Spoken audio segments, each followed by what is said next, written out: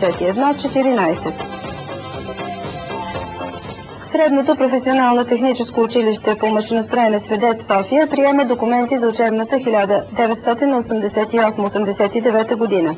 Кандидатите трябва да са софийски жители, завършили 8 клас и не по-възрастни от 17 години. Двама души са с щупена ключица, един човек е с щупени ребра. И още един човек има с щупени ребра, а една жена е с проблеми в два от предшените. Кандидатите трябва да са софийски жители, завършили 8 клас и не по-възрастни от 17 години.